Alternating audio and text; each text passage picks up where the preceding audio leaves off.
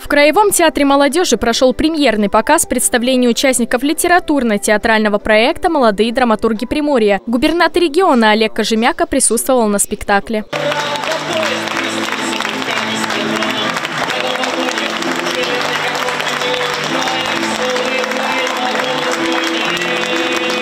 Действие развернулось по эскизу пьесы на выписку «Клоун в госпитале» эксперта проекта Николая Пинчука. Сюжет произведения несет важный посыл. Несмотря на случившиеся события, жизнь продолжается. Как раз э, такие спектакли и заряжают людей на то, чтобы, чтобы не случилось. Есть э, рядом друзья, товарищи, есть э, собственная воля, которая позволяет преодолеть все те боли, позволяет видеть возможность жить и развиваться в нашем обществе, чувствовать уважение окружающих, вот, ту помощь, которую они будут оказывать.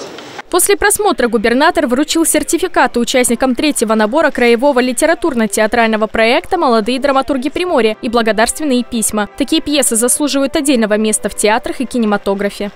Пьесы, наиболее яркие сценарии мы отправляем в Республику Беларусь.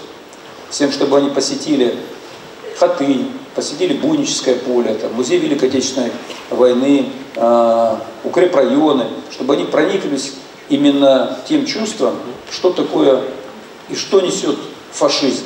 Постановку в полном формате покажет приморцам и гостям края уже в мае. Напомним, главной целью школы молодых драматургов Приморья является поиск и обучение начинающих талантливых авторов, а также популяризация профессии драматурга и театрального искусства. Диана Иванова, новости на восьмом.